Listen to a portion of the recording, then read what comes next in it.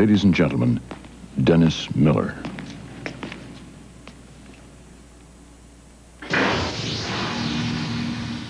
I just knew they'd call.